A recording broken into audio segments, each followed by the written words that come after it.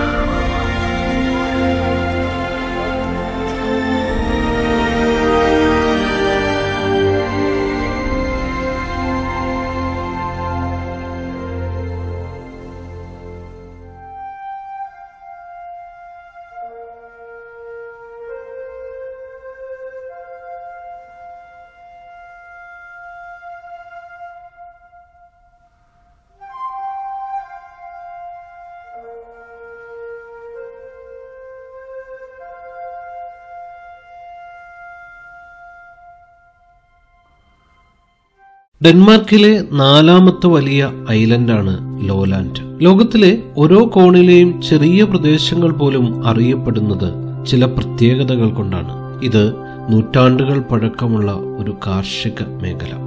ആയിരത്തി മുന്നൂറ്റി എഴുപത്തിരണ്ടുകളിൽ ഇവിടെ അറിയപ്പെട്ടിരുന്നത് ഓസ്മാർക്ക് എന്നാണ്.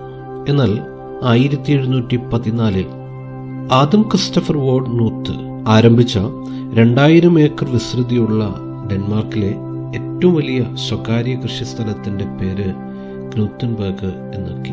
ഇപ്പോൾ വടക്കൻ യൂറോപ്പിലെ ഏറ്റവും പ്രശസ്തമായ സഫാരി പാർക്കാണ്. ആയിരത്തി തൊള്ളായിരത്തി അൻപതിലാണ് ഈ പാർക്ക് ആരംഭിച്ചത്.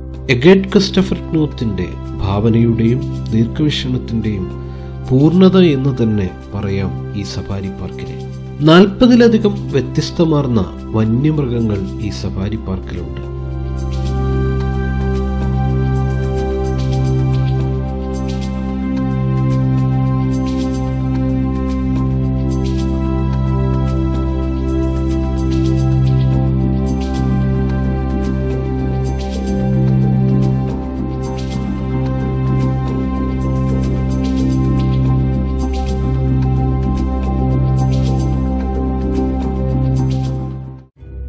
പലതരത്തിലുള്ള സീബ്രകളുണ്ട്. ഇത് പ്ലെയിൻ സീബ്രയാണ്. നാനൂറ് കിലോഗ്രാം വരെയാണ് ഇവയുടെ പരമാവധി തൂക്കം.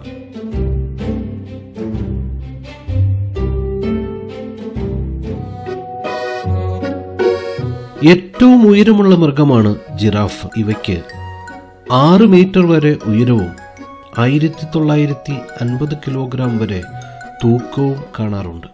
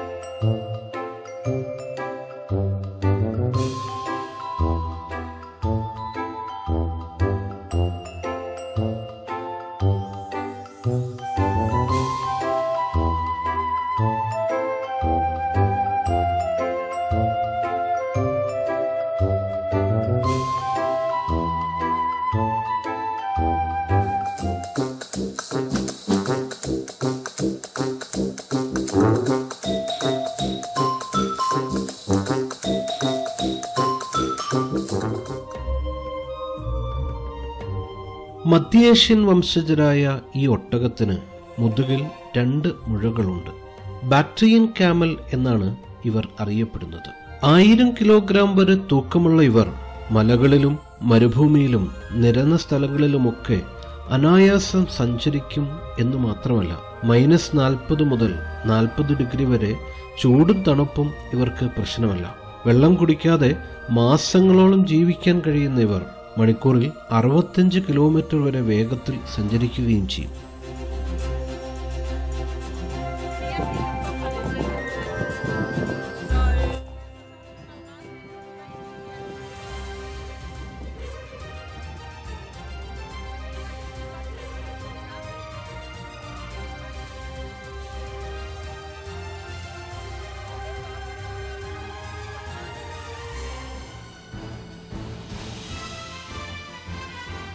സൈബീരിയൻ കടുവകൾ പൊതുവെ മനുഷ്യരെ ഉപദ്രവിക്കില്ല എന്നാണ് പറയുന്നത്. എങ്കിലും ഇവിടെ പ്രത്യേകം സുരക്ഷ ഒരുക്കിയിട്ടുണ്ട്.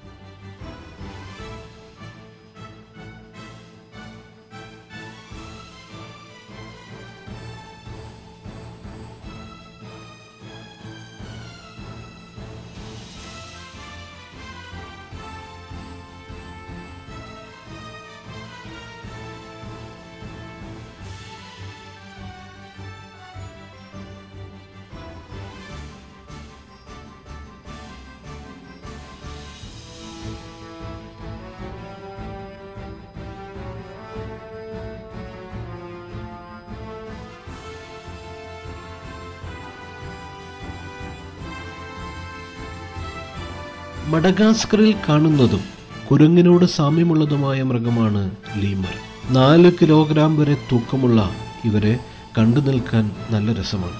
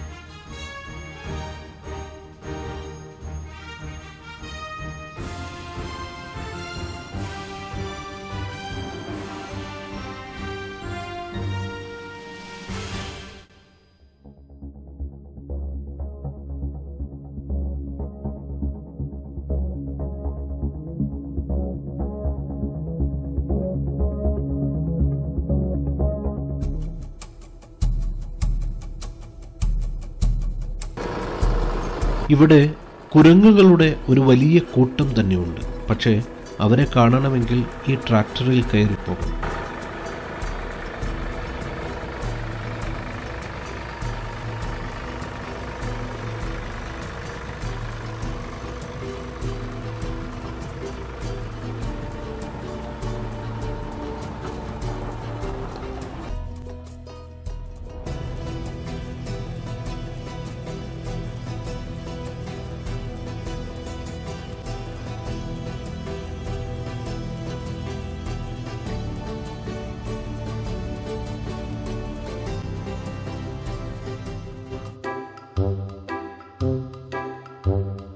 തെക്കേ അമേരിക്കയിൽ കൂടുതലായി കാണുന്ന ലാമകളാണ് ഇത്. ചുമടെടുക്കാനും ഇറച്ചിക്കുമായാണ് കൂടുതലും ഉപയോഗിക്കുന്നത്. ആടുകളോട് രൂപസാദൃശ്യമുള്ള ഇവർ മനുഷ്യരോട് കൂടുതൽ അടുക്കുകയും ചെയ്യും. ഷെറ്റ്ലാൻഡ് പോണി എന്ന് വിളിക്കുന്ന കൊച്ചു സ്കോട്ടിഷ് കുതിരകളാണ്. കൂടുതലായും കുട്ടികളുടെ കുതിര സവാരിക്കും പരിശീലനത്തിനുമായാണ് ഇവയെ ഉപയോഗിക്കുന്നത്. ഗൈഡ് ഡോഗിനെ പോലെ ഗൈഡ് ഹോഴ്സായും ഉപയോഗിക്കുന്നുണ്ട് ഇവയെ.